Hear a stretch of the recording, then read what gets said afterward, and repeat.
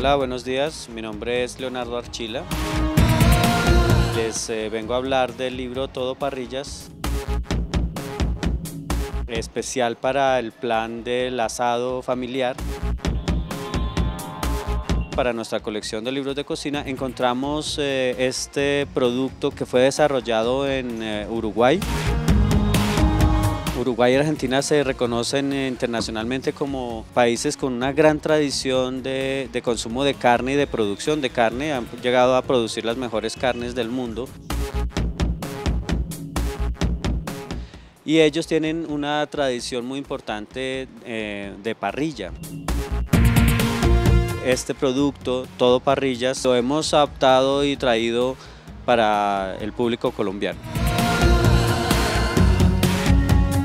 La adaptación consistió en que los cortes de carne, especialmente la carne de res y la carne de cerdo, son muy particulares para cada país. Entonces tuvimos que adaptar los cortes uruguayos, que son muy parecidos a los argentinos, tanto de res como de cerdo, a eh, los cortes que se acostumbran a hacer acá.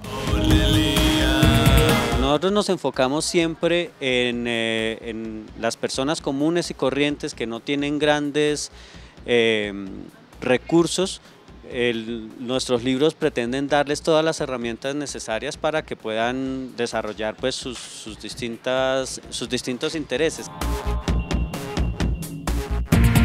Pues la base de la cocina es la creatividad y todos los libros de cocina lo que hacen es marcar una pauta, digamos como em, dar unas instrucciones generales, ya cada eh, usuario, pues cada persona con su libro determinará seguir eh, las instrucciones del libro o hacer otra cosa según su gusto o su conveniencia. Lo más importante a tener en cuenta son las instrucciones que da el libro de cómo manejar la parrilla propiamente dicha, cómo se pone el fuego, cómo se determinan los distintos valores del fuego, es decir, cuando es muy caliente, cuando es bajo.